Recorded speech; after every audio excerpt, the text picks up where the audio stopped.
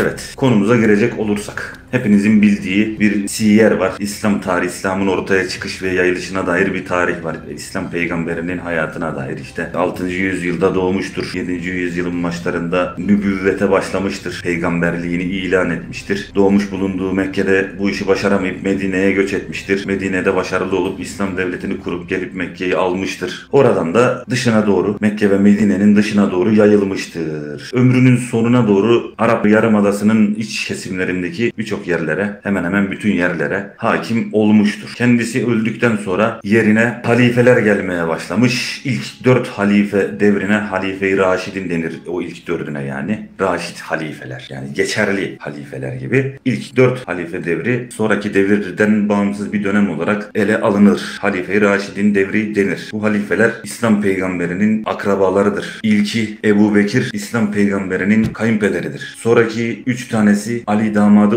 olmakla birlikte Ömer, Osman ve Ali isimli halifeler Ebu Bekir'den sonraki halifeler İslam peygamberinin damatlarıdır aynı zamanda. Dava arkadaşları da olduğu gibi yine akrabaları olduğu gibi Kureyş kabilesinden de oldukları gibi damatlarıdır da aynı zamanda. İslam peygamberinin kendi hayatı içinde henüz kendi hayatı bitmemişken de ümmeti arasında ayrılıklar vücuda gelmiştir. Ayşe isimli hanımıyla ilgili bir takım dedikodular yapılmış. Bu dedikoduların seyri kendisini ve ailesini oldukça rahatsız etmiştir. Bu hususta bazı ayetler gelmiştir. Uzun süre gelmemiş. Daha sonra bazı ayetler gelmiştir. Bu dedikodularla ilgili mesela. Evlatlığı kölesi daha sonra evlatlığı olan Zeyd'in hanımını almış olmasıyla ilgili bir takım ayrılıklar yaşanmıştır. Bir takım tefrikalar çıkmıştır. Yani kendisi hayattayken de bir takım ayrılıklar yaşanmıştır ümmeti arasında. Bunların bazıları işte dedikodu kaynaklı, bazıları farklı milletlerden insanların birbiriyle olan husumetleriyle alakalı kabile savaşları, efendim hakim oldukları bölgedeki başka milletlerden, başka dinlerden insanlarla alakalı sıkıntılar vesaire.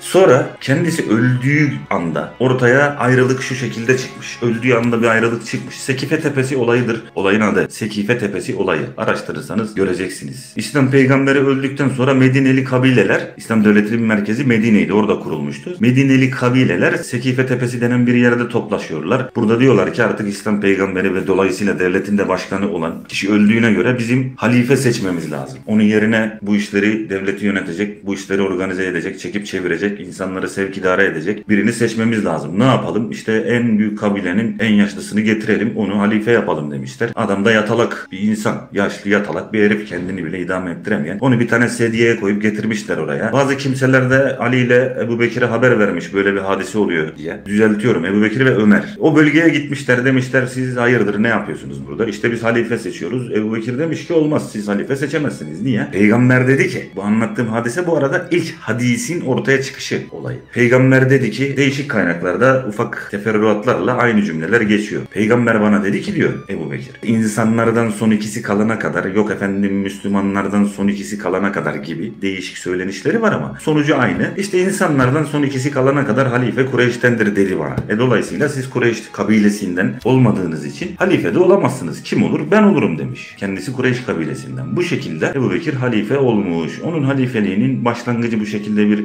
tefrika, bir ayrılık, çekişme sebebiyle ortaya çıkmış. Sonraki halifeler Ebu Bekir'den sonra gelen 3 tane Raşid halife, Halife-i Raşidin denen 3 halife de öldürülmüş gene başka Müslümanlar tarafından. İşte kendi içlerinde çıkan sıkıntılar sebebiyle öldürülmüş.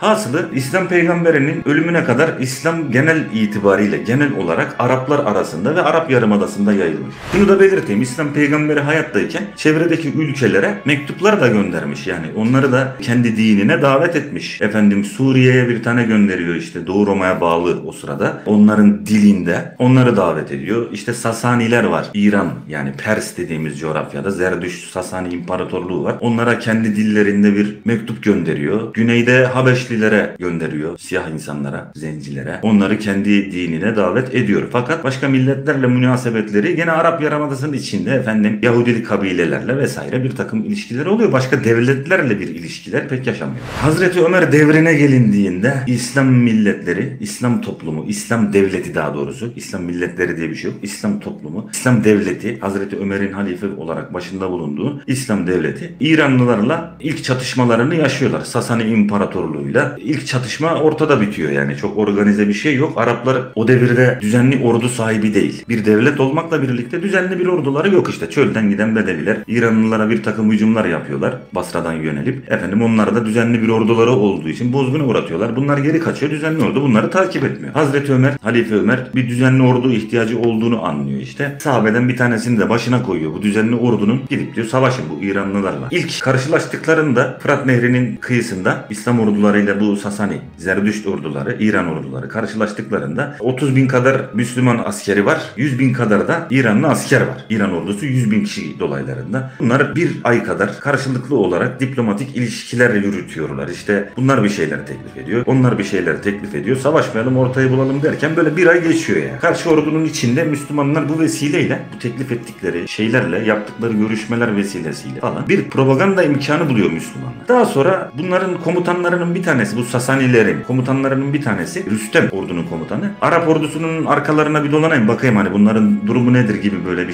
şeyle bir deve kervanının arasına karışıp giderken o Müslüman Araplardan birisi fark ediyor bunu. İşte bir pusu atıyor. Fırat Nehri'ne düşüyorlar. Başını kesiyor. Önce boğuyor suda Rüstem'i. Sasanilerin ordusunun komutanı Rüstem'i önce boğuyor. Ondan sonra başını kesip getirip o Sasanilere gösteriyor. Bakın diyor komutanınızın, işte şahınızın başını kestim. Dolayısıyla karşı orduda bir panik atmosferi yaratılıyor. Bu küçük olan Müslüman ordusu Sasani ordusunu bozguna uğratıyor. Kaçıyorlar hayatta kalanlar işte. Bunlar Müslümanlar peşlerine düşüyor. İran'ın başkentine kadar, Sasanilerin başkentine kadar kovalıyorlar bunları. Giriyorlar başkente. Kimse yok. Hepsi kaçmış. Başka bir yere sığınmışlar. Sığındıkları yere saldırıyorlar. Oradan kaçıp bir kaleye gidiyor Sasanilerin imparatoru. Oraya abluka yapıyorlar. Sonra bir hile hurda bir şeyler yapıp İslam ordusu onları yendiler özetle. Bu sefer İslam devletinin elinde bir de İran oldu. 20-30 senelik süreçte İran'ı ele geçirdiler. Yani Sasani İmparatorluğunu yok edip yeni bir devlet elde etmiş oldular. Büyük bir başarıdır. Bu hadise Hazreti Ömer devrinde oldu. O ele geçirdikleri Sasani devletinin ordusu içinde bir takım kimseler savaş sırasında Müslümanlardan yana tavır almıştı. Bu Müslümanlar haklı biz onlardan yanayız deyip savaşı bırakanlar çok olmuştu. Bunlar her şeyi de söyleyeyim. İran'ın o zamanki din adamları yani Zerdüştlük dininin din adamları bu İslam karşısında devletleri kaybettiği zaman göç ederek sağa sola dağılmışlardı. Daha çok güneye Hindistan dolaylarına falan gitmişlerdi yani. Terk etmişlerdi oraları. Fakat tebaaları tabii ki oralarda yaşamaya devam ediyordu. Pers milleti, İranlılar. O günün şartlarında Hazreti Ömer devrinden bahsediyorum. O günün şartlarında şimdiki gibi imkanlar, iletişim imkanları, kaynaklar, kitaplar vesaire olmadığı için kulaktan kulağa yayılıyordu İslam. Ahmet Mehmet anlatıyordu, Mehmet öbürünü anlatıyordu falan. Bu şekilde yayılıyordu. Bunlar yapılırken, din yayılırken İranlılar, Pers milleti, Farslılar yani önceki dinlerini tamamen hayatlarından çıkartmıyorlardı. İkisini birbiriyle karıştırıyorlardı, cem ediyorlardı yani. İşte İslam dininde her zaman aynı örneği veriyorum ama örnekleri çoğaltmak gerekmez. Sırat köprüsü diye bir şey yok İslam dininde bir kurbanlık hayvanın sırtında kıldan ince kılıçtan keskin bir köprüden karşıya geçme hadisesi İslam dininde yok. Sırat köprüsü diye bir şey yok. Bu zerdüştlük dininde var. Aldılar bunu. Yani önceki dinlerini terk etmediler. İslam dinine kendileri gelirken, kendileri geçerken bunu da İslam dinine soktular. Bu türlü şeyler yaptılar. Bildiğiniz üzere abdest gibi efendim namaz gibi kelimeler Farsça. Fars dilinde. Yani İranlılar İslam'a girdiği zaman böyle kelimeler ortaya çıkmış oldu. Daha sonra sevgili arkadaşlar İranlıların İslam'a geçmesinden sonra bu İslam İslam ordularının Türklerin de bulunduğu yerlere yaptığı akınlar var. Bizim onları mağlup ettiğimiz, onların bizi mağlup ettiği küçük çaplı hadiseler var. Fakat biz Orta Asya'da, daha doğrusu ortalık İç Asya diyeyim yani. İç Asya'da çok düzenli bir devlet çatısı altında bulunmuyorduk o tarihlerde. Kıtlık dönemleriydi. Kıtlık sebebiyle otorite boşluğu da yaşanıyordu. İslam orduları bir taraftan geliyordu. Moğollar bir taraftan geliyordu. İşte bir takım sıkıntılar siyasi ve sosyal devam ediyordu. Türk boyları, Türk kabileleri, Türk grupları batıya doğru göç ediyorlardı dolayısıyla. İşte sulak topraklara erişmek, efendim iklimin daha basit olduğu yerlere gitmek gibi. Bunu yaparken de İran üzerinden yapmak zorundaydık. Dolayısıyla biz bunlarla muhatap olmuş olduk. Yani Türk milletine Araplar İslam'ı tanıtmadı en önce. Biz İranlılardan, Farslılardan İslam'ı tanıdık. Dolayısıyla onların uyarlamış olduğu şeyleri de biz İslam olarak, İslam zannederek aldık. Bir vakit bana sormuşlardı işte Türklerin İslam'a geçiş hakkında ne diyorsun? İki tane tez var. Birisi seve seve geçtiler işte Eski dinleri çok benziyordu. Gök tanrı dini gibiydi. Bunlar da dediler ki Aa, aynı bizimki gibi. Hemen geçtiler gibi bir tez var. Biliyorsunuzdur bunu okullarda falan size öğretmişlerdir. Herkes konuşuyor bunu sağda solda yani. Ben Türk milletini tanıyorsam şöyle derdi. Ulan benziyorsa sen benimkine geç. Ben niye senin dinine geçeyim çok benziyorsa yani. O da böyleyse işte gök tanrıda da tek tanrıysa işte sizinki de tek tanrıysa ben seninkine niye geçeyim Arap? Sen benimkine geç der Türk. Bildiğimiz Türk yani. Bu saçma bir tez. Diğer bir tez Arapların bizi zorla işte kılıç zoruyla Talkan ve Curucan'da katliam yapmak suretiyle sanki bütün Türkler orada kümeleşmiş oralarda yaşıyormuş gibi böyle katliamla zorla bizi İslam'a geçirdikleri böyle falan. Arap bize zorla hiçbir şey yaptıramaz arkadaşlar. Bu tez de saçma. Bu tez de mantıksız. Yani Arap gelecek Talkan'da Curucan'da bizi yenecek. Talkan ve Curucan da sanki bana metropol. Sanki bütün Türkler orada toplanmış gibi böyle. Nerenin başkenti oğlum? Talkan ve Curcan iki tane yerleşim yeri, kasaba gibi yer ya. Bütün Türkleri orada öldürmüşler gibi böyle bir hava. İşte Araplar bizi zorla İslam'a geçirmiş. Araplar bizi zorla hiçbir şeye geçiremez. Bu tez de saçma. Benim iddiam şu. Biz Türk milleti olarak İslam dinine cehaletten geçtik. Ne olduğunu çok bilmiyorduk. İşte elimizde mealler yoktu, tefsirler yoktu. Çok böyle donanımlı falan değildik. Dolayısıyla bilmeden geçtik. İbn Fadlan diyor ki Türkleri gördüğün zaman Müslüman oldun mu dersin. İşte evet oldum der. İbn Fadlan seyahatnamesi. He he oldum der ama çok da diyor sallamaz. Yani hayatlarına baktığında İslam'dan çok eser yoktur ama. Oğuzlar için söylüyor. Geçtim mi dersen he evet geçtim he he der. Çok da diyor ardını aramaz yani. Ben bizim İslam'a geçişimizin böyle olduğunu inanıyorum. Günümüzde de İslam'ın Türk milleti arasında bu şekilde olduğuna inanıyorum. Nasıl? Cami cemaatinde bulunan kimseler üzerinde bir anket yapılsa, kopya çekme fırsatı verilmese yani. Onlara dense ki siz secdede Allah'a ne söylediniz? Secde halindeyken namazda ne söylediniz dense onların bence cami cemaatinin %99'u bunu bilmiyor. Sübhane Rabbiyel Ala dedim diye net cevap vereceklerini pek zannetmiyorum yani. İmamı tenzih ederim. Bizim milletimizin İslam'a geçişinde de bugün de de uydum imama stratejisi hakim. Uydum imama. Yanındakine bakarım. İmama bakarım. Zaten yanındaki öndeki bunlara da imama bakıyorlar. Ben aynen hareketleri tekrar ederim. Secdede ne dedim? işte rükuda ne dedim? Efendim bun- bunlar çok detay yani. Bunlara takılmamak lazım. Çok düşünürsen kafayı yersin. Binali Yıldırım sözünde olduğu gibi. Böyle bir strateji izleyip biz İslam'a girmişiz. Ne yapmışız biz? Birbirimizle de çok organize bir toplum değiliz o tarihlerde. Boylar halinde vesaire işte batıya Anadolu'ya atıyoruz kendimizi. İranlı bir şey anlatmış. İranlı belagatli söz söyleme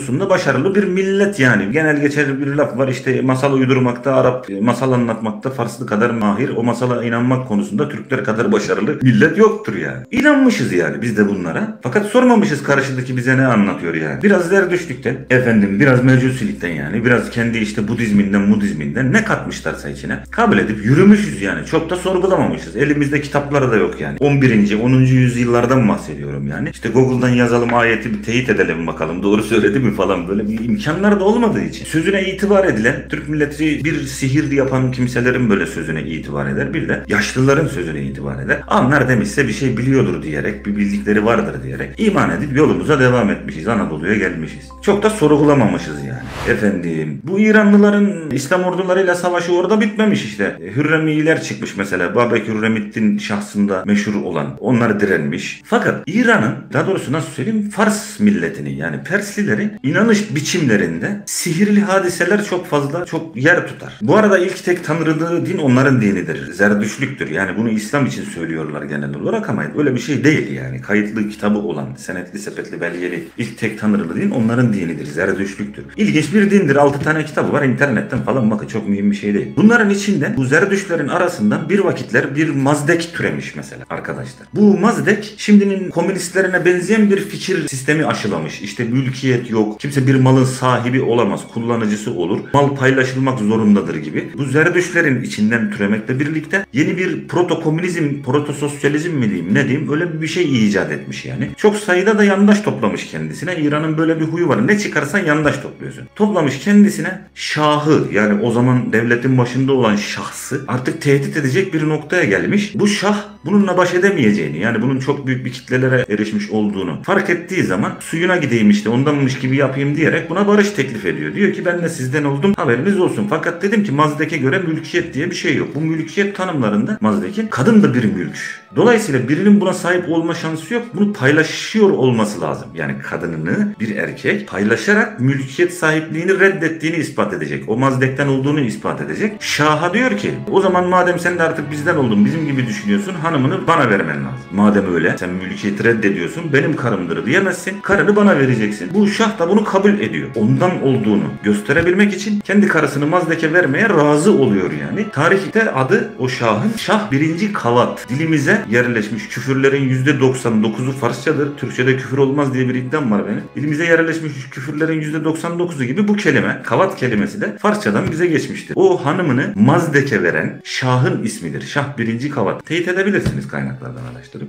Bu Mazdek o memlekette bir inanış dünyasında bir devrim yapmış kimse. Hazreti Ömer devrinde de bu İranlılar dediğim gibi İslam tebaası oldular. İslam ümmetlerinden bir tanesi oldular. İslam ümmetin içindeki milletlerden birisi oldular. Biz de bunlarla münasebetimiz sebebiyle İslam'la tanışmış olduk. Efendim bu Mazdek vari böyle Mazdek gibi akımlar bitmedi. Babayiler türedi. Düzeltiyorum. Babiler türedi. Muhammed Bab isimli bir kimse tarafından. O Bab kelimesi Tanrı'nın yeryüzüne inmiş insan suretinde inmiş şekli gibi bir kelime ifade ediyor. Zerdüşt'ün kendini Tanrı ile özdeşleştirmesine benzer bir şey bu. Bab. Muhammed Bab da İran içinde bir takım olaylara, sosyal kargaşalara sebep oldu. Tarih sahnesinden çekildi gitti. Ona göre de kadınlar üstüne elbise giymemeliydi. Belinin üstüne falan gibi. O da bir tuhaf bir kimseydi. Fakat biz bundan da etkilendik. Yani bunun tezlerinden de etkilendik. Bir hululiye diye bir mezhep var. Hulul etmek. Yani Tanrı yeryüzünde bir takım nesnelerde, canlılarda ve niyeyse yani hep insanlarda hulul ediyor. İnsan şeklinde yeryüzüne iniyor. Bildiğiniz üzere işte bu Yunanlıların mitolojisindeki gibi, Kuzeylilerin mitolojisindeki gibi bir hadise bu yani. Etkilenmiş sağdan soldan. Bu da İranlıların mitolojik hulul etme hadisesi.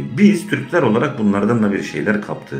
Ortaya lafı çok uzatıyorum. Bütün tarikatları anlatacak zaman yok arkadaşlar. Kısa kesmek için atlayarak anlatıyorum. Siz söylediğim kelimelerden not falan alırsanız gidip sağdan soldan teyit edebilirsiniz yani. Daha detaylı okuma imkanı bulursunuz belki. Biz bunların bu hululiyesinden de etkilendik. Bu hululiyeden çeşit çeşit mezhepler, kalenderiler, malenderiler türedi. Bunların hepsinde bir büyücülük, sihircilik, böyle bir insanüstü bir gösteriler yapma, mucizevi böyle bir şeyler gösterme huyları var. Biz millet olarak bu türlü şeylere de çok itibar ediyoruz işte. Şamanizm denilen eski inançlarımız, şamanizm olmamakla birlikte şamanizm diye tarif ettiğimiz pagan inançlarımızın da tesiriyle böyle. Bizde de kamlar, bakşılar var. Bunlar bir takım sihirli mihirli hareketler yapıp bizi etkilemişler kültürümüzde. Gelip bunları da bu kalenderiler, babiler, hululiyeciler yani hulul etme halini, Tanrı'nın insanlara vücuda gelme halini falan gösteren mucizevi şeyler görünce onlara da itibar etmişiz. Uzatmıyorum geldik Anadolu'ya. Anadolu Selçuklu Devleti vardı. Moğollar bunları hakimiyetleri altına alıp bir tane valiyi başlarına koyup bir takım böyle tarikatlarını da bu coğrafyaya serpiştirip yürüyüp gitmişlerdi kardeşim. Bildiğiniz hadise dizilerde şimdi meşhur olan hadiseden bahsediyorum. Anadolu'da bizim Selçuklumuz hakimdi falan. Fakat bu bir şekilde Moğol devletinin tebaasıydı. Bu tebaanın içinde gene doğudan tazikle zaten bir Türk devleti Anadolu'da varken Selçuklu devleti zaten varken yine Moğolların baskıları sebebiyle Türkler akıl akın Anadolu'ya geliyordu. Fakat daha önce gelen Türkler artık yerleşik hayata geçmişlerdi. Arazileri belliydi, bölgeleri belliydi, hangi boyun nerede yaşadığı belliydi, kimin malı nerededir belliydi. Sonradan gelen Türkmenler göçerdi. Göçer Türkmenlerdi. Moğol baskısıyla sonradan gelen Türkler göçer Türklerdi. Bunlar o inanışlardan, İran inanışlarından daha fazla etkilenmişlerdi. Neden? Artık bölgeye, coğrafyaya hakim olan Moğollar bu türlü inanışları teşvik ediyorlardı. Bu türlü inanışların sahiplerini muhafaza ediyorlardı, kolluyorlardı. Onlara iltifat ediyorlardı yani kalenderiler, babayiler gibi. Babayi Türkmenler, babayi Türkmen derken şöyle bir şey aklınıza gelsin arkadaşlar. Şimdi Alevi dedesi dediğimiz şeyler var ya günümüzde. Alevi dedesi. Dede var onun şahsında bir ocak vücuda geliyor. Aleviler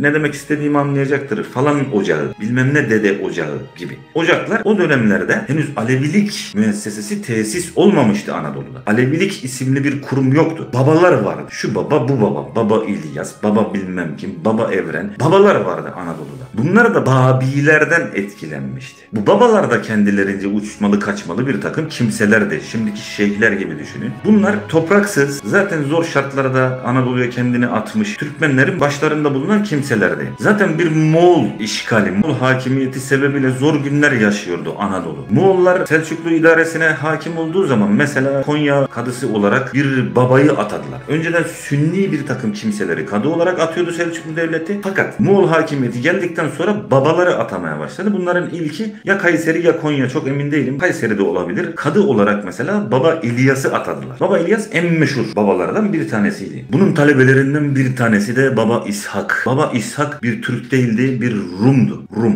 Bizanslı bir Rum'du. Bu Bizanslı Rum, hocası olan Baba İlyas'ın kadılık makamına da oturmuş olan Baba İlyas'ın da biraz hani tesiriyle Türkmen yerleş olmayan henüz yerleşememiş göçer Türkmenler arasında bir itibar sahibi oldu. Bir saygı kazandı. Baba oldu yani. Yetiştirdiği müritlerden bir tanesi de Saadettin Köpek. Selçuklu veziri olmuş hani. Saadettin Köpek. Bu Saadettin Köpek'i de saraya yerleştirmiş. Kendi hocası babalarından bir tanesi de Kayseri kadısı zaten. Büyük bir güç elde etmiş. Propaganda gücü elde etmiş. Bu Anadolu'daki göçer Türkmenler çok eziliyor. Bu devlet bunlara zulüm ediyor ayağına. Anadolu'da kanlı bir isyan başlatmış arkadaşlar. Büyük bir isyan başlatmış. Selçuklu idaresine karşı sözde işte mülkiyet paylaşılmalıdır. Siz yerleşmişsiniz, araziniz var. Biz ne yiyeceğiz kardeşim ayağına. Tuttu Sünni yerleşik hayata karşı büyük bir isyan, kanlı büyük bir isyan başlattı. Babai isyanları diye aratın internette okursunuz. Günümüzde bile Alevi yerleşimlerinin olduğu bölgeleri aklınıza getirin. Göz önünde bulundurun. Bu bölgelerde çıkmıştır Babai isyanları. Efendim Baba İlyas bu İshak'ın hocası olan o şahıs idam edildi. Bir çarpışma bir savaş sırasında da bu İshak öldürüldü gitti. İsyan misyan kalmadı yani ortada. Fakat bu müessese yok olmadı. Tarihe karışmadı. Babai isyanı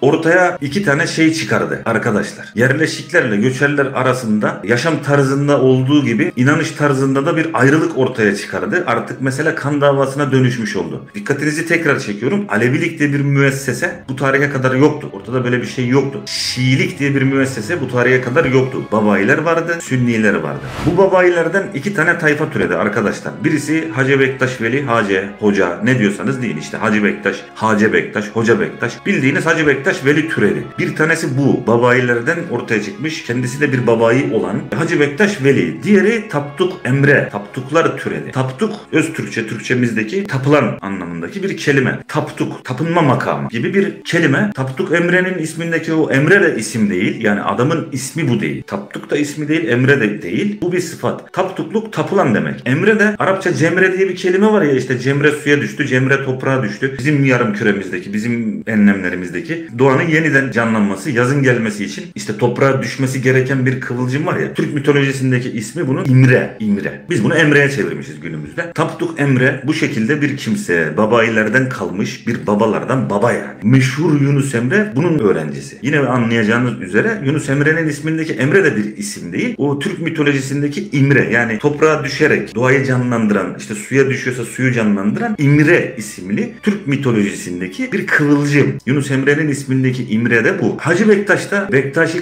kardeşlerimiz izliyorsa beni çok iyi anlayacaktır. Bahsettiğim gibi işte bazen turna olur. Dedim ya hani mitolojik öğelerden esinleniyor sürekli. Bektaş Veli de turna olur. Türkler arasında yaygındır, yaygınlaşmıştır. Balkanlarda özellikle yayılmıştır Bektaşilik. Hala Alevilik diye bir müessese yok bu arada. Taptukluk Yunus Emre'den sonra çok bir icraat gösterememiştir. Bunların tam mezarlarının yeri bile tespit edilememektedir. Çünkü bunlar mesela Yunus Emre özelinde söyleyeyim. Eserleri henüz bulunduğu için. Daha evvel çok dile getirdim ama bir şeye dikkatinizi çekeyim. Aşık Yunus'la Yunus Emre aynı kişi değil. Tarikatçı Yunus'la aşık olan Bursalı 1700'lerde yaşamış aşık Yunus aynı şahıs değil. Karıştırılan iki kimse. Bahsettiğimiz kimse Tapduk Emre'nin öğrencisi olan Derviş Yunus. Bu Derviş Yunus birçok eserinde de çalap menem hak demez işte Allah demez de yani çalap benim anlamına gelen laflar etmektedir. Dolayısıyla bu toplumun arasında çok yayılmamıştır. İşte kendini bir tanrı olarak iddia etmek eserlerini okuyun göreceksiniz. İşte sevgi insanı, hümanist falan bilmem ne. Bunlar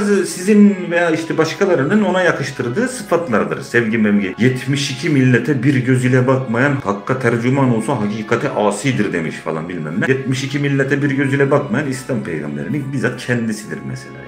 Bütün insanların bir tutulacağına dair bir fikir İslam'da yoktur yani. Dolayısıyla taptukluk makamı Tapduk Emre ve Yunus Emre'den sonra tarihe karışıp yok olup gitmiştir. Bektaşilik yayılmıştır Türkler arasında. Hacı Bektaş Veli'nin dili de Türkçe olmasının etkisiyle biraz daha evvelki inanışlarımızdan unsurlar barındırması hasebiyle Bektaşilik yayılmıştır. Alevilik dediğimiz müessese, Alevilik dediğimiz inanış biçimi bu babayı isyanını da yapan babalar tayfasının ve sonrasında ortaya çıkmış taptukluk, Bektaşilik gibi tayfaların tesiriyle yaramış, var olmuş, vücuda gelmiş bir hadisedir. Sevgili kardeşler, Bektaşilik Osmanlı devrinde zulüm görmüş, sünnilik sebebiyle ezilmiş falan değildir. Tam aksine bilakis himaye edilmiştir. Yeniçeri Ocağı Bektaşidir. Onların Yeniçeri Ocağı'nın büyüklerine komutan mı diyeyim artık ne diyeyim onlara mesela baba denirdi. Bektaşilik Yeniçeri Ocağı ortadan kaldırılana kadar varlığını devam ettirmiştir. Osmanlı devrinde ezilmiş mezilmiş değildir. Özellikle Balkanlarda yayılmıştır. Çünkü uç beyliği vazifesi sesi görüyorlardı. Henüz Müslüman olmamış toplumlara önce bunlar gidip İslam'ı tanıtıyorlardı, Osmanlı'yı tanıtıyorlardı. Onlar bir yobaza nazaran daha geçimli, daha toleranslı oldukları için de bu toplumun sevilmesi, sayılması namına bir etki ediyorlardı. Bektaşilik bu şekilde bir propaganda aracı olarak Osmanlı tarafından da kullanılmıştır. Günümüzde de Balkanlarda daha yaygındır. Anadolu'ya nazaran Balkanlarda daha etkilidir.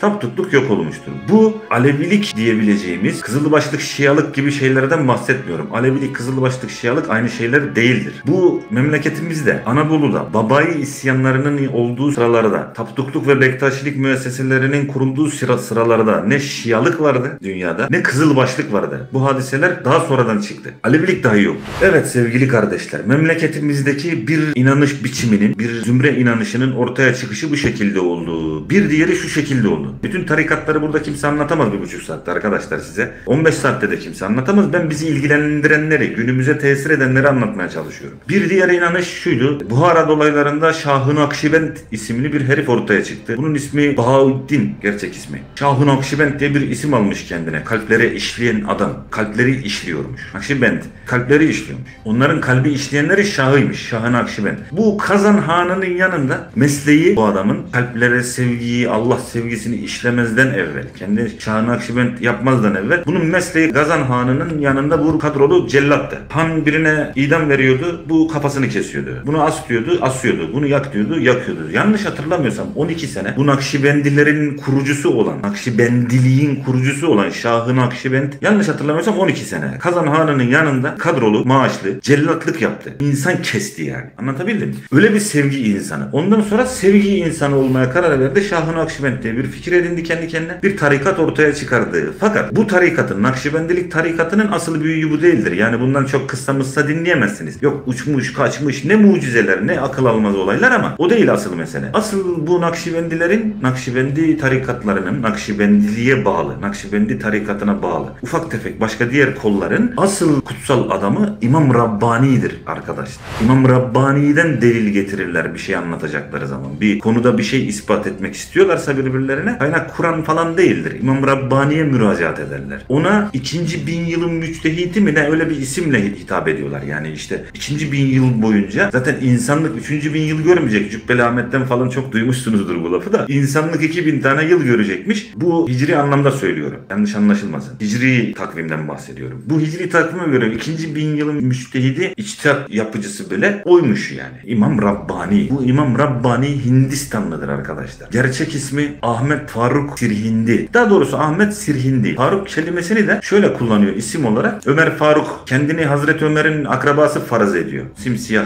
Hindistanlı olmasına rağmen ben diyor Hazreti Ömer'den gelmeyim. Ondan geliyor benim soyum da. Bana da Faruk o zaman.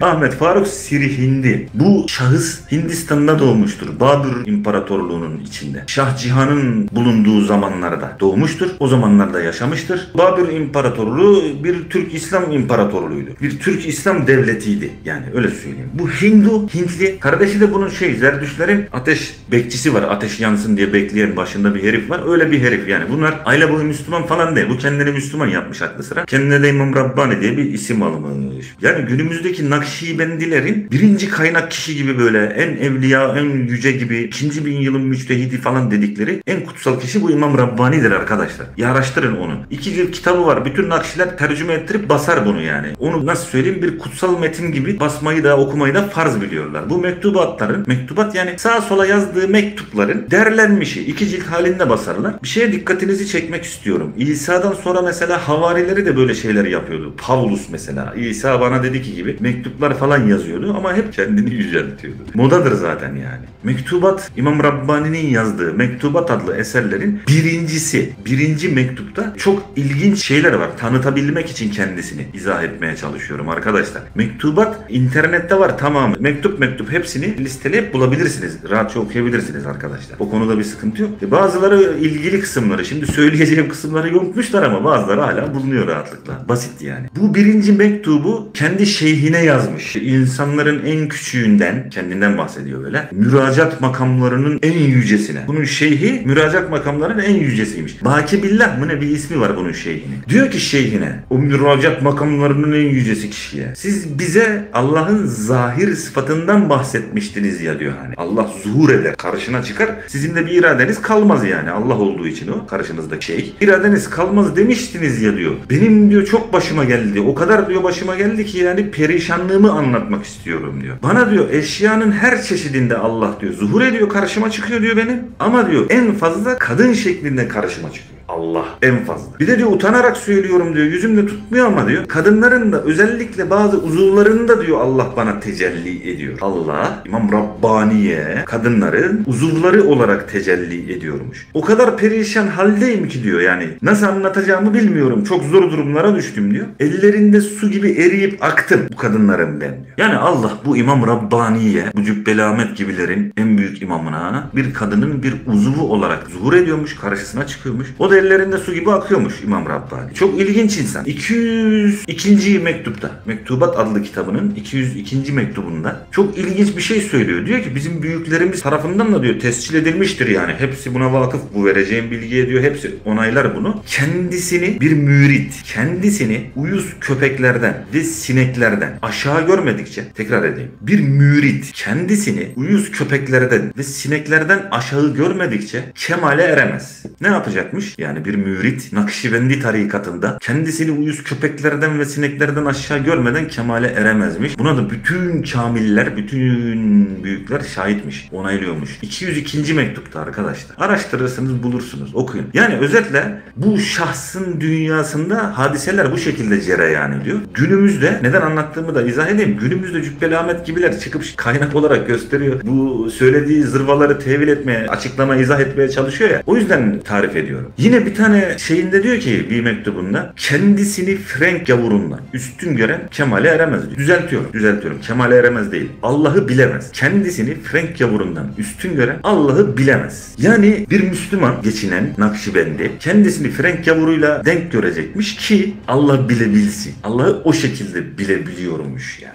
Nakşibendilerin durumları bu şekilde arkadaşlar. Peki ne yapmıştır bu şahıs hayatında? Zaten İslam devleti olan Babür İmparatorluğu yani Hint İslam İmparatorluğu'nun içinde milyonlarca insanı etkilemiştir bu. Senelerce hapiste yatmıştır ama bıkmamış usanmamış yani milyonlarca insanı etkilemiş. Ne öğretmiş? Diyor ki Nakşibendi tarikatının dört tane kuralı var. Nakşibendi tarikatından olabilmek için dört tane kural var. Birinci şart dünyayı terk edeceksin. Dünyanın işlerini, dünyanın olaylarını yok farz edeceksin edeceksin. Önemsemeyeceksin. Ciddiye almayacaksın. Birincisi dünyayı terk etmek. İkincisi ahireti terk etmek. Ahireti önemsemeyeceksin. Orada bana ne verilecek? Ben orada ne alacağım? Ahirette ne yapacağım falan. Bunları sallamayacaksın. Ciddiye almayacaksın yaptığın işlerde. Nakşibendi tarikatından olabilmenin dört farzından ikincisi. Ahireti terk etmek. Üç, kendini terk etmek. Nasıl oluyor kendini terk etmek? Bir varlık olduğunu önemsemeyeceksin. Az önce söyledim ya 202. mektubunda yazıyor İmam Rabbani diye işte kendini uyuz köpeklerden ve sineklerden aşağı görmek. Bir varlık olduğunun şuurunu terk edeceksin dünyayı, ahireti bir varlık olduğunu terk edeceksin. Dördüncüsü şu. Bunları terk ettiğini unutacaksın. Bunları terk ettiğin bilgisini terk edeceksin. Nasıl yapacaksın? Ben evvelden şöyleydim ama sonra Nakşibendi olunca böyle olduğum gibi bir iddiada bulunmayacaksın. Tamamını terk edeceksin. Yani ortaya senden bir tane zombi çıkartıyor. Zombi. Ahireti terk etmiş. Dünyayı terk etmiş. Kendini terk etmiş. Bu şuuru da terk etmiş. Zombi gibi bir tane adam çıkıyor ortaya. Ne oluyor sonra? Zombi gibi bir adam çıkıyor da ne oluyor? Bu İmam Rabbani Hindistan'da 2-3 kimseyi kendi teşkilatına, kendi kendi tarikatına kattı. Duydunuz mu Halid-i Bağdadi diye birisi? Yeni dizilerde o da çıkıyor mu? Halid-i Bağdadi diye bir adam. Bu şeyler bu ara çok yeni dizilerde çıkıyor da. Halid-i Bağdadi ölümü 1827. Dikkatinizi çekerim. Halid-i Bağdadi ölümü 1827. Bu şahıs bu İmam Rabbani'nin müritlerinden bir tanesi. Yani ondan gelen bir ekol. Kendisine bu Halid-i Bağdadi 1827'de ölen Halid-i Bağdadi 500 halife yetiştirdi arkadaşlar. Kendisi gibi 500 tane klon yarattı. Ortaya çıkardı. Halife halife ilan etti bunları kendi halifesi. Bunun 500'ünü birden Orta Doğu'ya gönderdi. Bizim Orta Doğu'muza. Bak ölümü 1827 bu adamın. 500'ünü birden Orta Doğu'ya yaydı bunların tamamını. Gidin bunu öğretin diye. Ne öğrettiler? Az önce tarif ettim. İmam Rabbani'den ders 1. Dünyayı terk edeceksin. 2. Ahireti terk edeceksin. 3. Bir varlık olduğunun bilgisini terk edeceksin. 4. Bunları terk ettiğini unutacaksın. O bilgiyi de terk edeceksin. Ne oldu sonra? 1800'lerden bahsediyorum. Elimizde Orta Doğu diye bir şey kalmadı ya. Böyle bir şey olabilir mi ya? Napolyon geliyor Mısır'ı alıyor. Direniş yok. Ben terk ettim. Benlik değil dünya. İngiliz geliyor Rabbani'den sonra Hindistan'a. Beni diyor ilgilendirmez. Ha İngiliz bayrağı, ha Babür'ün bayrağı. Ben diyor dünyayı terk ettim. Beni alakadar etmez. Ya burada tecavüz yapıyorlar. Ben dünyayı terk ettim. Ahirette Allah sorar. Ben ahireti de diyor terk ettim. Sen insan değil misin? Ahireti terk ettin, dünyayı terk ettin. Ben kendimi de terk ettim diyor. Nakşibendi inancına göre. Nakşibendi olabilmek için her şeyi terk etmiş herif. Napolyon geldi Mısır'ı aldı. Mısır'a iner inmez bütün oradaki tarikatlara erzak, yardım, beslen, besleme. Dediler ki lan sen ne yapıyorsun oğlum tarikatları, marikatları niye besliyorsun? Onlar olmasaydı ben Mısır'ı alamazdım ki diyor. Neden? Lan işgal oluyor. Geliyor işte kafir mafir. Ama şey demiş ki İmam Rabbani demiş ki kendisini Frank gavurundan üstün gören Allah'ı bilemez. Üstün üstün görmüyorum kendimi ben diyor. Ha o almış ha öbürü almış ülkemizi diyor ya. Tarikat miskinliğinin mucididir bu İmam Rabbani. Ben İngiliz ajanı olduğunu düşünüyorum. Öyle inanıyorum yani. Hindistan Hindistan kalmadı bunun yüzünden. Şimdi bugün Cübbeli Ahmet gibilerin piridir bu. Bir tane daha pirleri var. Hatta Cübbeli Ahmet videolarını bulursunuz. Bu İmam Rabbani gibi. Bunlar tarikatta şeyi tartışıyorlar hatta yani. Bizim en büyüğümüz kimdir yani? Pirlerimizin en büyüğü İmam Rabbani midir? İbni Arabi midir mesela? İmam Rabbani de o Mahmut Usta Osmanoğlu var ya şeyhleri karar kılmış.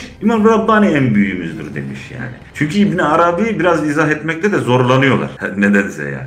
Muhyiddin İbni Arabi yani bizim günümüzdeki Nakşibendi tarikatlarının pirlerinden İmam Rabbani bir tanesi. Onu anlattım zaten az önce. Felaketler sebebi bir heriftir yani. Diğeri de Muhyiddin İbni Arabi. Bu da Endülüslü, İspanyalı bir Müslüman yani. Öyle söyleyeyim. Endülüs devletinden bir Arap bu da. Hintli değil bu da Arap. İmam Rabbani gibi bunun da künyesi Muhammed bin Muhammed. Bunlar da hep böyle yani. Künyesi nedir? Bak Muhammed bin Muhammed. Ne, ne türedikleri yeri bilmiyorlar herhalde. Veya tesadüfün bu kadarı yani. Hepsi Muhammed bin Muhammed. Bu da bu Muhyiddin İbni Arabi de biraz Fas'a geçiyor işte. Biraz gidiyor geri Endülüs'e. Oradan geliyor biraz Şam'a. Biraz Mekke'de 3 sene kalıyor. Oradan bir daha Endülüs'e gidiyor. Böyle yeri yurdu olmayan bir Arap bu da yani. Efendim. Bu Muhyiddin İbni Arabi de İmam Rabbani'den biraz daha manyak. Biraz daha ileri gitmiş. Bir tasavvuf ehli yani. Vahdedi vücutçu. Buna göre Allah bir şeylerde zuhur etme gereği duymaz. Öyle bir şeye gerek yok. Zaten hepimiz Allah'ız gibi bir inanışı var. Şu az önce bahsettim ya Türkiye'deki Nakşibendiler derken kimi kastettiğimi anlamıyor olabilirsiniz arkadaşlar. Menzil tarikatı diyor olabilirsiniz onlara mesela. Sakarya tarikatı diyor olabilirsiniz mesela siz onlara. İsmail Ağa cemaati diyor olabilirsiniz. Efendim İhsan Şen Ocak Hoca Efendi diyor olabilirsiniz falan ama bunların tamamından bahsediyorum ben. Bunların tamamı o Nakşibendilerden yani. İmam Rabbani'ye toz kondurmaz da bunu söylediğimi duysalar mesela lanet ederler bana etmedikleri dua kalmaz. Beddua kalmaz. Nurculara da anlatacağım kardeşim. Muddin Arabi isimli Arap. Bu vahdeti vücutçuluğun mucidi gibi bir şeydir yani. Onun bir de Fususül Hikem isimli çok baskısı olan ülkemizde çok bulunan bir kitabı var. Fususül Hikem. O kitabın mukaddime yani ön söz kısmında en başında diyor ki ben diyor Şam'da rüyada gördüm. Şam'dayken diyor rüyama geldi diyor peygamber benim. Peygamber bu Muhyiddin Arabi'nin rüyasına gelmiş. Elinde de bu Fususül Hikem isimli kitap varmış. Demiş ki sen al bunu okursun. Yani bu Fususül Hikemi Muhyiddin Arabi yazmamış. Peygamber Şam'da bu rüyada görmüş. O rüyada vermiş bunun eline kitabı. Fususül Hikemi. O peygamberden gelen bir kitap yani. Gel de eleştir geçmişine yani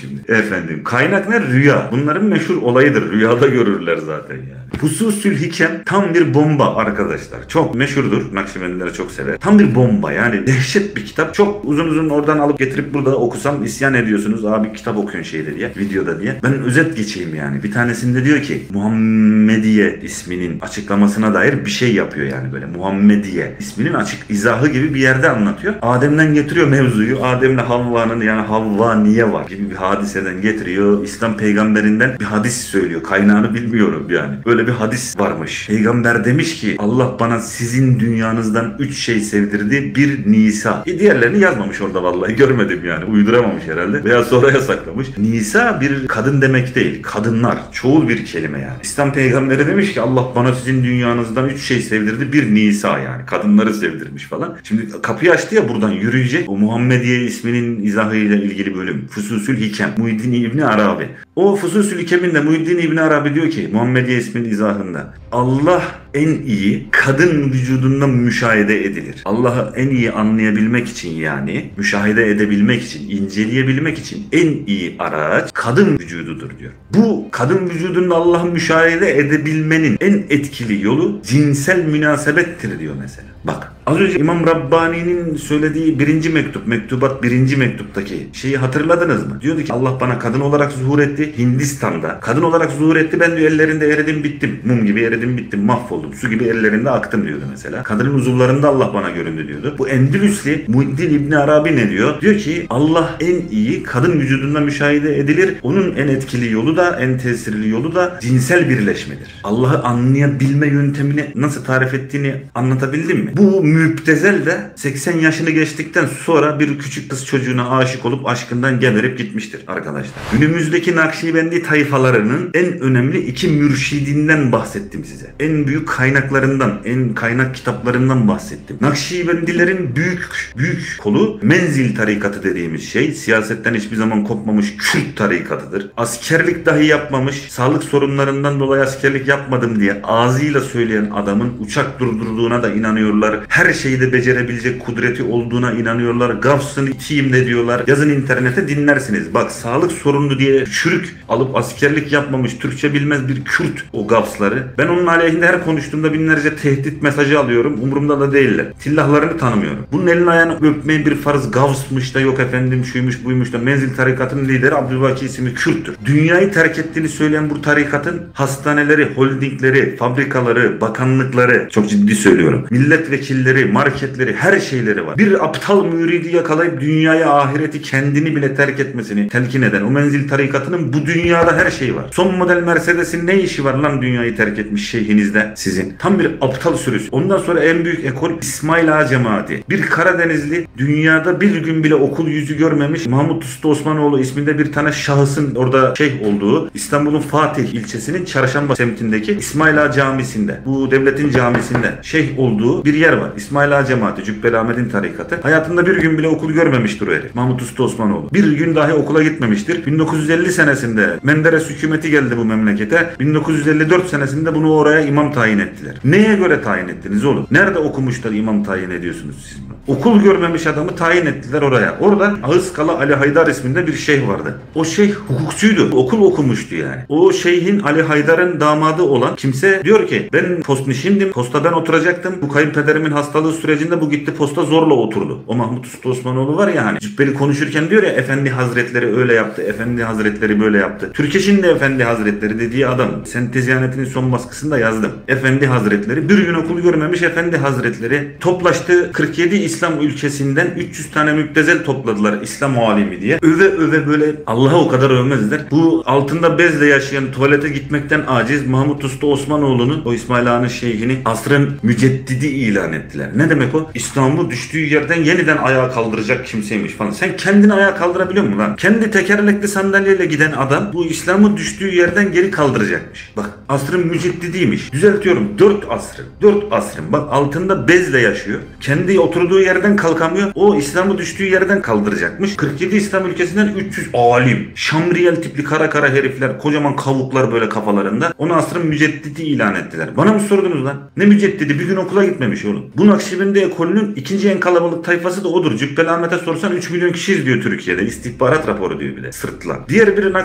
ekolü Sakarya Hakikat grubu diye bilebilirsiniz onları. Hakikat dergisinin olduğu grup. Hakikatin o i harfinde ay yıldız var. Orada şey yazar mesela. İmansız vatan, vatansız iman savunulmaz. Ne slogan geçmiş yine yani ben. Japonların niye vatanı var o zaman? İmansız vatan, vatansız iman savunulmuyorsa. E, İngiliz'in niye var mesela? Neyse kardeşim. Bu hakikat grubu da Ömer Öngüt isimli eski komiser zannedersem. Bir şeyhin kurduğu bir ekol. Sakarya ekolü. Onlar da. Efendim. O da 82 yaşında mıydı? Neydi bu? Organ bağışı haramdır diyerek meşhur oldu. Yargılandı beraat etti. O Ömer Öngüt de 82 yaşındaydı zannedersem. Almanya'da bir tane müridini arıyor. Kızı var bir tane küçük. Diyor ki rüyamda seni gördüm. Kızını bana veriyordun. Cennete gidiyordun. O salak da göndermiş kızını buna Almanya'da. Kız 16 mıydı 18 miydi? Tam emin değilim. 82 yaşındaki herif ölmeden onu da aldı yani. O da öyle meşhur oldu. Orası da öyle bir cümbüş. Bunlar da şeyi e, Hatemül Evliya meselesini çok yazarlar yani öyle söyleyeyim. Bu İmam Rabbani efendim. İmam Rabbani'nin az önce bahsettiğim o işte Allah kadın şeklinde zuhur ediyor gibi kitaplarını onlar da yayınlar, çeviriyorlar, millete pompalıyorlar. Hatemül Evliya dedikleri kimse var mesela onu çok överler. Evliyaların en sonuncusu. Muhiddin Arabi'nin Endülüslü olan var diye hani Allah'a en iyi kadın vücudunda müşahede edebilirsiniz diye. Onun sıfatıdır. Hatemül Evliya, evliyaların sonuncusu. O puş mesela şey der. İslam peygamberi Kabe'nin kerpiç taşıdır. Ben altın ve gümüş taşıyım.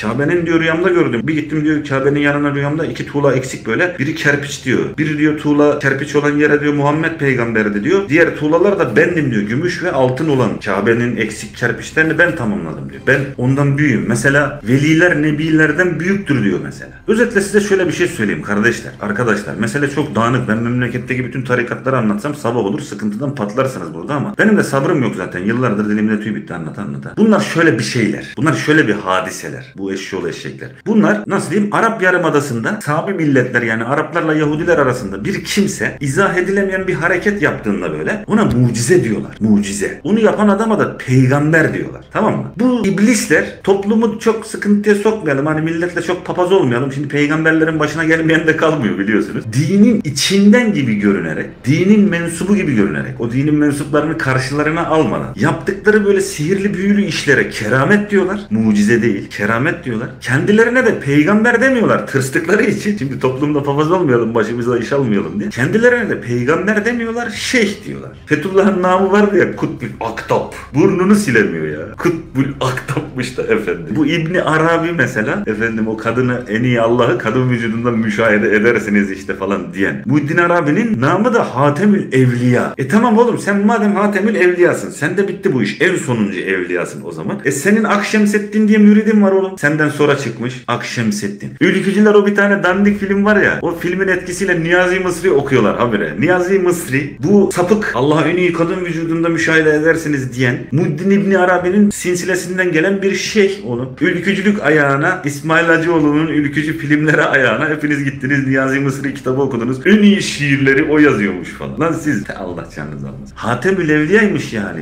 Muhyiddin Arabi. Ondan sonra kimler geldi kimler geçti. Ama onun ekolünden. Molla Fenari Bursa'da yatmaktadır mesela. Akşemseddin Fatih'in hocası hani Akşemseddin. Mehmet Vani Efendi mesela Türkçü Şeyhülislam dediğimiz mesela. Onlar hep bunun ekolünden geldiler kardeşim. Neler neler var. Bu Niyazi Mısri mesela. E bu İmam Rabbani'nin günümüzde bir sürü müridi var zaten. İhsan Şen Hoca, Hoca Efendi Hazretleri. İhsan Şen Hoca. Kanal kanal her tarafta bunlar. Cübbeli Ahmet mesela. Her yerdeler kardeşim. Her yerdeler. İşin asıl ayrılık tarafına geleceğim. Ayrılık. Bu arada bunu neden anlattığımı konunun en sonunda izah edeceğim. Kardeşler lafın başında dedim ki İslam peygamberi daha hayattayken Müslümanlar arasında ihtilaflar çıkmıştır. Öldüğü anda da Sekife Tepesi olayı itibariyle yine ihtilaflar çıkmıştır. Ondan sonra Halife-i Raşidin denen dört halife devrinde zaten kan gövdeyi götürmüştür. Sonrasında ve şu andaki günümüze kadar İslam dünyasında mezhepler, tarikatlar, itikat ayrılıkları sebebiyle kavga hiçbir zaman bitmemiştir arkadaşlar. Bitmemiştir. İslam milletleri olmaya devam ettiği sürece, İslam tarikatları olmaya devam ettiği sürece, bu Müslümanlar böyle olduğu sürece bu Müslüman coğrafyalarında kan bitmeyecektir.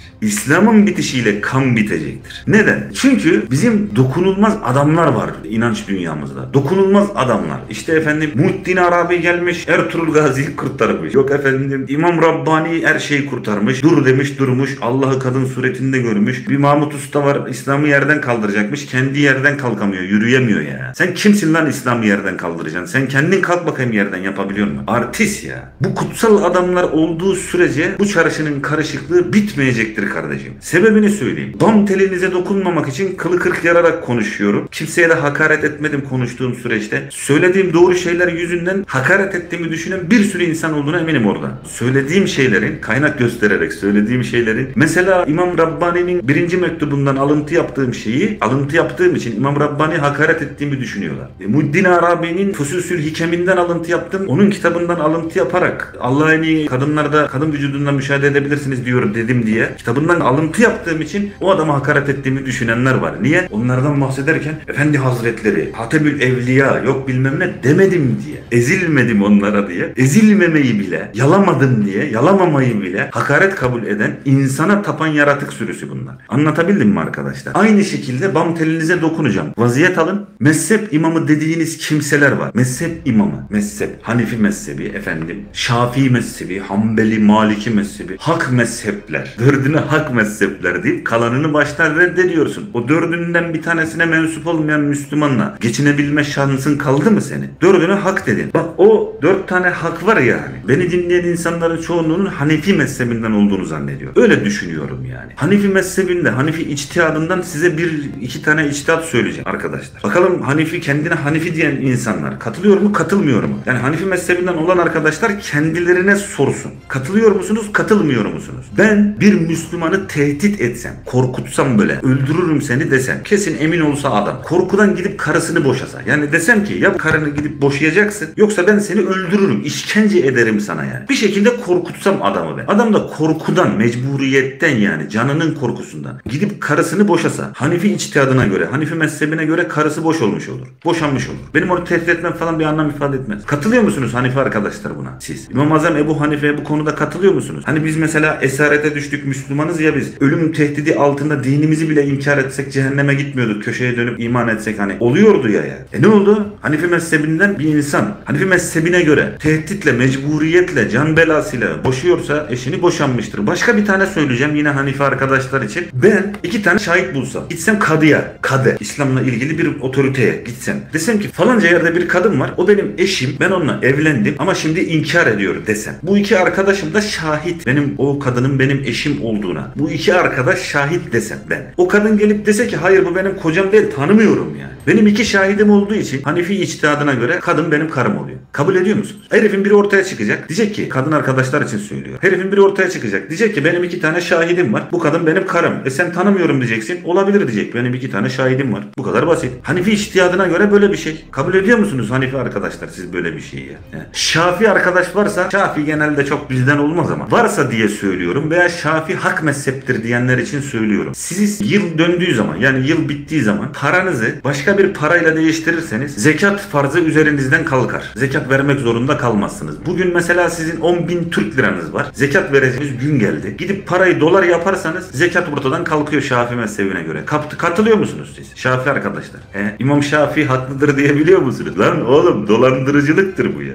Kendi zaten kendin olan parayı, kendinin olan parayı Türk lirasından dolara, dolardan Türk lirasına, ondan işte bonoya, bundan şuna, altına, gümüşe yatır. Zekat kalksın. Gariban ne yiyecek lan? He? Zekat garibanın hakkı değil mi? Müslüman insanlar, Şafii insanlar. İmam Şafii'ye göre paranın cinsini değiştirirsen zekat üstünden kalkıyor. Kabul edemezsiniz arkadaşlar. Dört mezhep varmış, dördü de hakmış falan bilmem ne. Bak bu dört mezhep var ya hak mezhep dedikleriniz. Ölen karını yiyebilirsin diyen var arkadaşlar. Karın öldüğünde çok açsa yiyebilirsin diyen insan var. Daha acı bir şey söyleyeceğim. Terbiyem müsaade etmiyor arkadaşım. Nasıl söyleyeyim bilmiyorum ki yani. Eşi ölüm Eşi ölmüş bir Müslüman, kadını, eşi, kadı, karısı ölmüş bir Müslüman, eşinin bedeni soğuyana kadar onunla münasebete girmeye devam edebilir diyen mezhep var. Bak, hak mezhep falan konuşuyorsunuz, ezberden sayıyorsunuz, dördü hak kalanı değil falan diye böyle yanlış yapıyorsunuz diye düşünüyorum. Siz bilirsiniz. Yani şimdi Oğuzlar, benim tanıdığım Oğuzlar, özellikle Hanefi mezhebinden olanlar, İmam Maturidi'nin itikadındalar. Maturidi itikattanız derler yani. Nerede okudunuz siz Maturidi'nin kitaplarını acaba? Hangi dilde okudunuz? Ne zaman okudunuz arkadaşım siz? Lambur lumbur evet ben bundan diyor, diyorum diyorsunuz. Bak İmam Maturidi diyor ki mesela Şii'nin fitnesi şeytanın fitnesinden büyüktür. Bir Şii'nin yani bir Şii insan, Şia mezhebinden bir insan şeytandan daha kötüdür diyor. Şii'nin fitnesi şeytanın fitnesinden büyüktür diyor. Maturidim diyenler kabul ediyor musunuz kardeşim? He.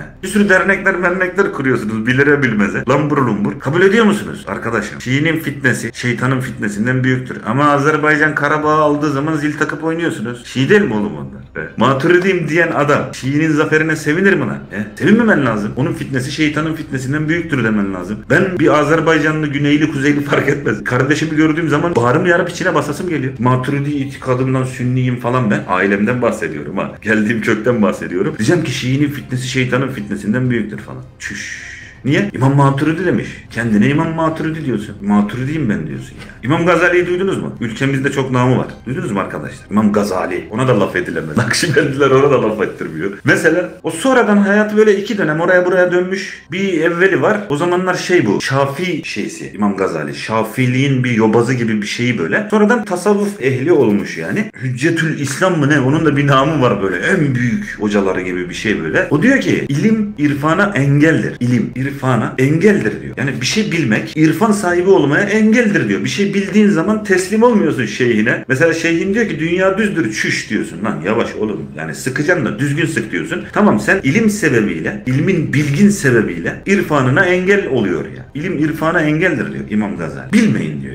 Kim kaldı? Said Nursi kaldı. Onun ismi Said Kürti'dir. İbni Mirza. Babasının adı da Mirza. 6 ay mı ne okumuş? Bunların hayatının hepsinde bir dramlar var. Bir kuyuya düşüyorlar. Bir bunalımlara giriyorlar. Bir onun da var öyle gitmiş kuyuya düşmüş. Saldırgan falan diye okuldan atmışlar. Arkadaşlar onun hayatında da İran etkisi olduğunu düşünüyorum. Neden? Zaten manyak yani. Deli de yani. Bahaullah var. Muhammed Bahaullah. Bahailik diye bir din var şu anda dünyada. Duydunuz mu bilmiyorum. Tel Aviv'dir merkezi. Fakat çıkartan adam Muhammed Bahaullah İranlıdır. Bu İranlı Bahaullah zengin soylu bir aileden bir tane din çıkartıyor. Az önce İran'dan bahsettim ya konunun başında. Bu Allah'ın yeryüzüne sirayet etmiş şekli yapıyor kendini. Ben Allah'ım diyor. Benim şeklimde indi dünyaya diyor. Çok mürit topluyor. Türklerden de meşhurlar var. Adlarını anmak istemiyorum yani. Atızın övdüğü kimseler de var. O Bahayilerin arasından çıkmış yani. Meşhur kimseler. İran'ın da bu kargaşaya sebep oluyor. Bunu sepetliyor İran. Kovuyor o ülkeden. Geliyor Güneydoğu'ya Bitlis'e falan. Bu Saidi Kürdi ile orada muhatap olmuşlar. Tanışmış bunlar yani. Ondan bir şeyler öğrenmiş bence. Niye? Sikke-i Tasdiki Gaybi gibi kitaplarında mesela Nurcular okumaz korkar böyle ama belli bir seviyeye gelmeden okunmaz leş gibi kitap halbuki. Bir de kitap hırsızıdır ha. Başkasının kitabını da kendine geçirmişliği vardır yani komple. Said Kürdi'nin çok bomba çılgın dolandırıcıdır. O iblis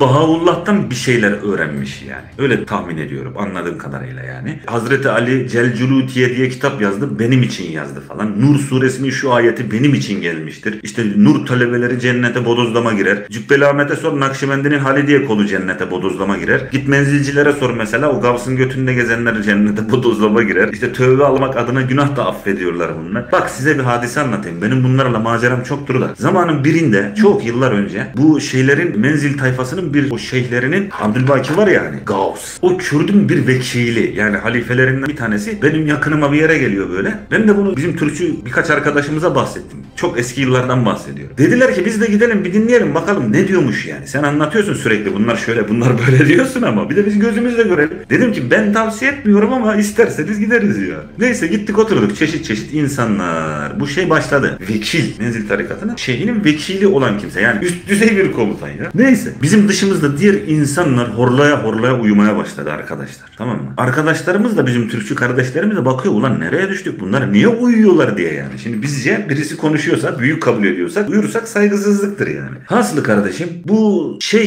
şeyi anlatıyor. İslam'da kadın erkek ilişkileri nasıl olmalıdır gibi bir konu anlatıyor böyle. Lafın bir yerinde dedi ki bir gün evde Hazreti Peygamberle Hazreti Muhammed de dedi Ayşe tartışıyorlarmış. Karşılıklı atışıyorlarmış. Artık Muhammed peygamber demiş ki o zaman git babanı çağır Ebu Bekir'i çağır. Senle benim aramızda hakem olsun bakalım kim haklı demiş. Bak dikkatinizi çekerim. Ayşe koşa koşa gitmiş babasını çağırmış. Demiş ki baba gel. Şimdi bu babası da gelince İslam peygamberi bir tarafta bir tarafta kendi kızı. Bu da Ebu Bekir. Tam anlatmaya başlayacak Muhammed peygamber Ayşe araya giriyor. Diyor ki bak anlat ama sakın yalan söyleme tamam mı diyor. O sırada tabii İslam peygamberi yalan söyleme deyince mahcup oluyor biraz böyle üzülüyor falan. Ebu Bekir Ayşe'ye bir koyuyor tokadı kendi kızına bir düşüyor böyle Ayşe'nin gövdesi kadar kan oluşuyor orada. Tamam mı? Şimdi Ebu Bekir İslam peygamberinin karısını ve kendi kızını dövdü özetle yani. Vekil bunu anlatıyor. En sonunda tabii ben zaten birikim gırtlağıma kadar gelmiş yani hurafeden yılmışım. Biraz da oralarda tanınıyorum o zaman. İsyan ettim dedim ki bir şey sorabilir miyim dayıcım? Buyur dedi. Ya dedim bir tane ayet biliyorum ben. Ey iman edenler aranızda çıkan ihtilaflarda onu hakem kılıp düzeltiyorum.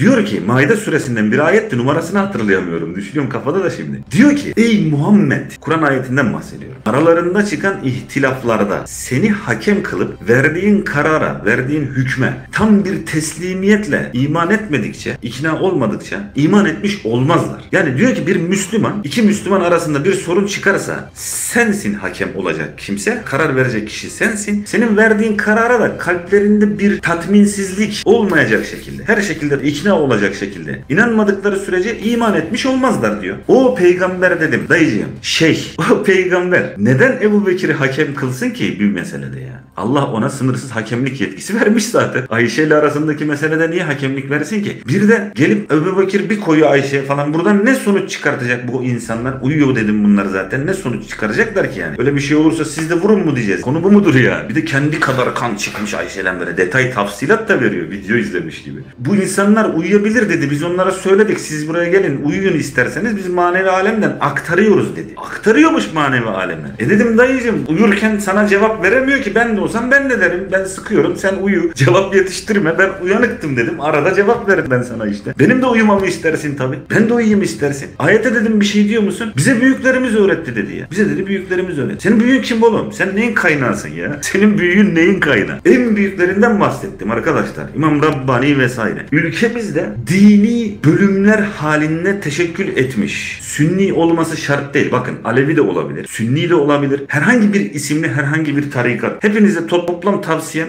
kardeşler, Türkçü gençler, Türkçü olmasa bile Türk ırkından gençler. Gözünüzü seveyim. Gelin benim her dediğime onay verin demiyorum. Yani gelin beni dinleyin bu videoyu birçok kişi izlesin demiyorum. Canını yedikleri. Gelin benimle mücadele edin, beraber sürünelim, beraber işkence çekelim, beraber hapislere düşelim demiyorum. Bak benim kitaplarımı okuyun demiyorum.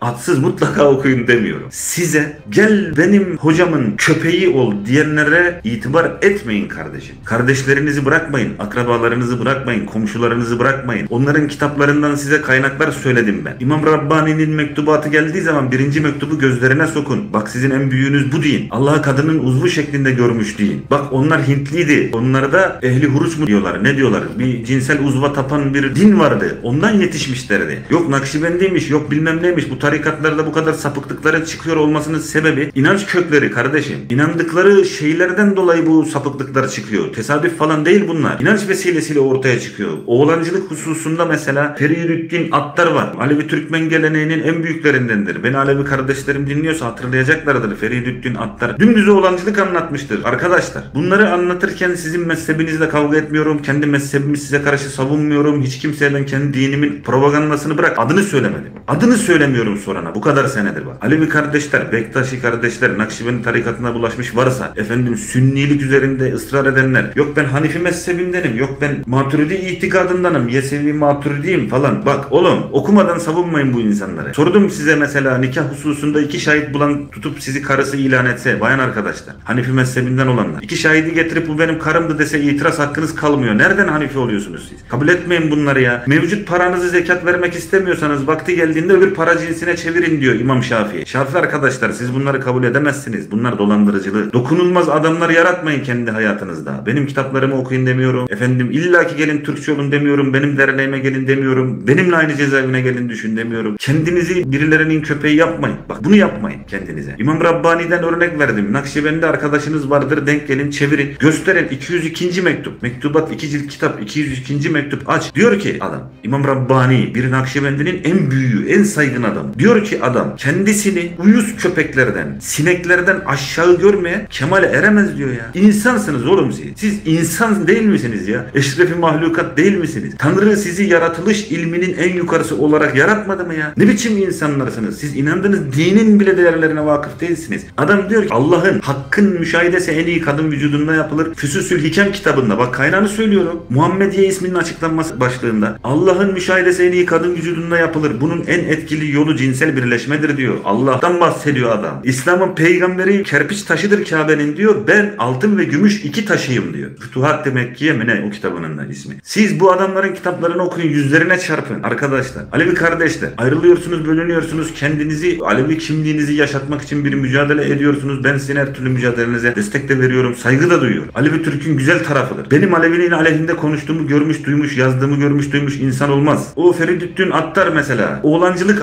anlatmıştır kardeşim. Mevlana'nın oğlancılığını duymayan kaldı mı aramızda bizim? Yıllardır dilimizde tüy bitti anlata anlata. Oğlancıdır. Moğol ajanıdır Mevlana. Bütün hükümetler şebi aruz törenlerinde, muhalefet komple şebi aruz törenlerinde. Düşmeyin bunlara. Sevgi insanıymış. Ne sevgi insanı? Canidir. Oğlunun cenazesine gitmemiştir. Kendi öz oğlunu öldürtmüştür Mevlana. Celaleddin Rumi. Rumi nereden oluyor? Mevlana Belhi işte yani. Belhili. Fars milletindendir. Kendi kitabının Mesnevi dediği kendi kitabının girişinde bu Kur'an'dan büyüktür diyor ya o herif.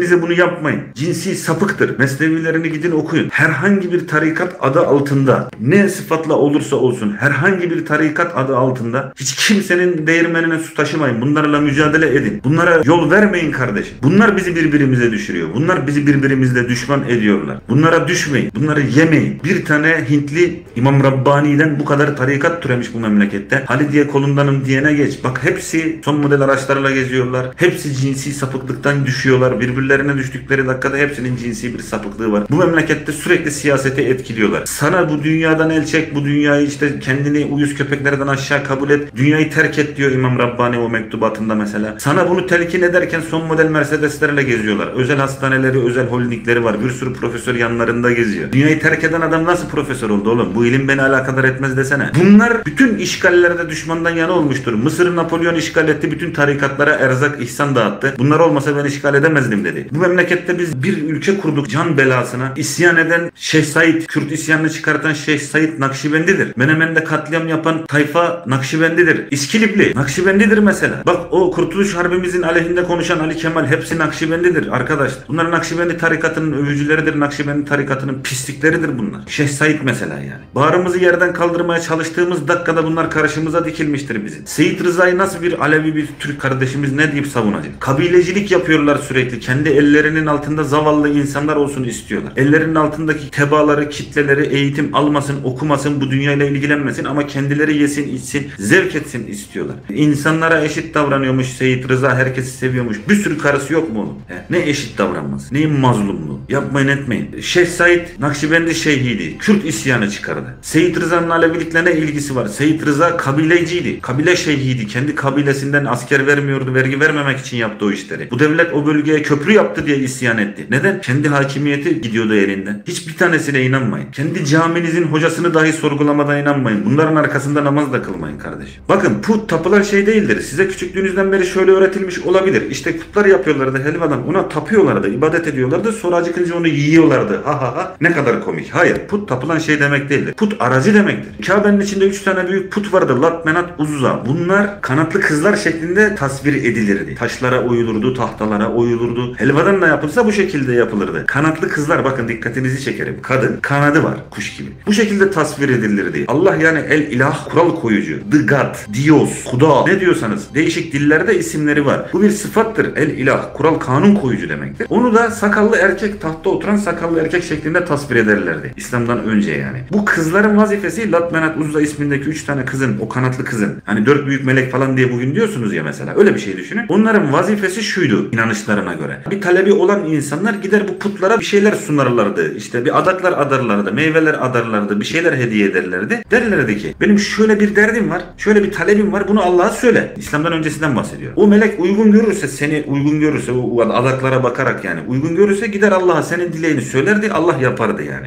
Bu Allah'la insan arasındaki bir elçi makamı. Put. Put tapılan şey demek değil arkadaşlar. Puta tapılmaz. Aracıdır. Bütün tarikatların aklınıza gelecek burada ismini hangisini yazarsanız yazın hepsinde o aracı şahıs var. Onun yüzü suyu hürmetine şefaat istiyorsunuz. O şeyhinizin yüzü suyu hürmetine kurtuluş istiyorsunuz. Rabıta var Nakşibendilerde Allah bir elektriği barajdan trafoya gönderir gibi ihsanı o şeyhe gönderiyor. Şeyh müritlerine yayıyor. Kimine az kimine çok kafasına göre dağıtıyor. Dağıtma yetkisi mesela Allah'ın ihsanını bile menzilcilerde de özellikle. Rabıtada onu yapıyorsunuz. Allah'ın ihsanını dağıtma, rahmetini dağıtma yetkisi bile şeyhte. Kutsal olmayan şeyhi yok kimsenin. Sümüklü Fethullah'a, Sidikli Fethullah'a bile Kutbül Aktap diyorlardı. Menzildeki askerlik yapmamış çürük olduğu için kendi tabiriyle ses kaydı var internette bulursunuz dinleyin. Türkçe bilmeyen Kürdün mesela ona Gavs diyorlar. Gavs saadatlarımız peygamber soyundan gelmiş. Niye hepsi Kürt oğlum? Peygamber soyundan gelmiş. Efendim Hatemül Evliya diyorlar Muhyiddin İbni Arabi'ye mesela. İmam Rabbani 2. bin yılın müstehidi diyorlar. Sidikli Said-i Nursi'ye beş para etmez cahil Kürt. Said-i Nursi'ye Bediüzzaman diyorlar. Bediüzzaman ne? Zamanın işte bilmem ne. Ne zamanı lan? Bediüzzaman eşi benzeri olmayan demek. İki iyi olursa, Bedi'i üz zaman olursa, zamanının eşsizi falan. Ne eşsizi olur? Öyle Kürt her yerde var. Bugün de var. Nerede yok öyle Kürt yani? Zamanının eşsizliğiymiş de bilmem neymiş de falan. Eşi benzeri olmayan diyorlar Said-i Kürdiye. Yarı ümmi diyen kendine Volkan gazetesinde yazmış. Yaşasın şeriatı garra diye bir tane yazı yazmış. Bu 31 Mart Abdülhamit'e isyan örgütleyen gazete yok mu? Orada yazmış. Yaşasın şeriatı garra falan. Yarı ümmiyim ben diyor ya. Okuyorum yazamıyorum diyor ya. Bildiğin. Yarı ümmiyim. Bütün ilimleri ihtisas etmiş falan.